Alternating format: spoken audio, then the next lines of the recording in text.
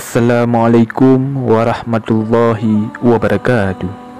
Wahai sahabat muslim yang beriman Selamat datang kembali di channel Amalan Akhirat. Allahumma salli ala Sayyidina Muhammad Wa ala ali Sayyidina Muhammad.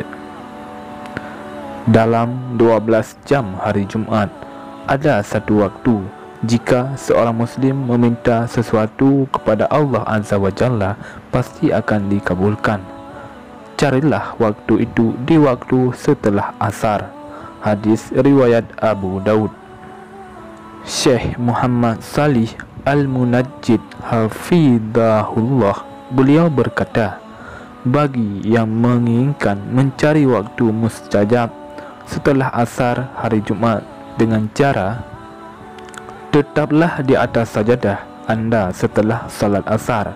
Luangkan waktu anda sejenak untuk bermunajat kepada Allah. Setelah selesai salat asar, bacalah surat Al-Fatihah dengan sungguh-sungguh. Kemudian bacalah doa ini agar Allah anugerahkan rezeki yang melimpah, tak putus dan tak pernah hilang hingga tua nanti. Bismillahirrahmanirrahim.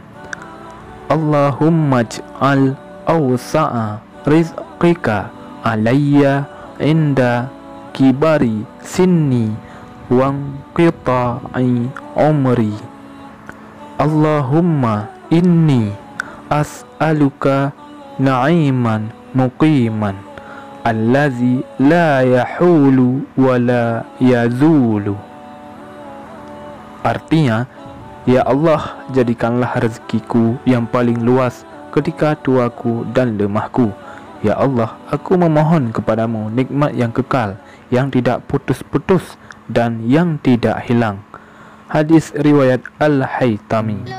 Berdoalah dengan penuh keyakinan dan keikhlasan. Yakinlah Allah akan mengijabah doa anda. Setelah berdoa, lanjutkan membaca salawat sebanyak-banyaknya dari Abu Umamah Al-Bahili radhiyallahu anhu Rasulullah sallallahu alaihi wasallam bersabda perbanyaklah salawat kepadaku pada setiap Jumaat karena salawat umatku akan diperlihatkan padaku pada setiap Jumaat. Barang siapa yang banyak bersalawat kepadaku dialah yang paling dekat denganku pada hari kiamat nanti. Hadis riwayat Al-Baihaqi. Wahai sahabat muslim yang beriman marilah sama-sama kita memperbanyak bersalawat kepada Rasulullah sallallahu alaihi wasallam. Semoga Allah mengijabahkan seluruh doa kita, melapangkan rezeki kita dan memudahkan urusan dunia dan akhirat kelak. Saya akhiri wabillahi taufiq wal hidayah. Wassalamualaikum warahmatullahi wabarakatuh.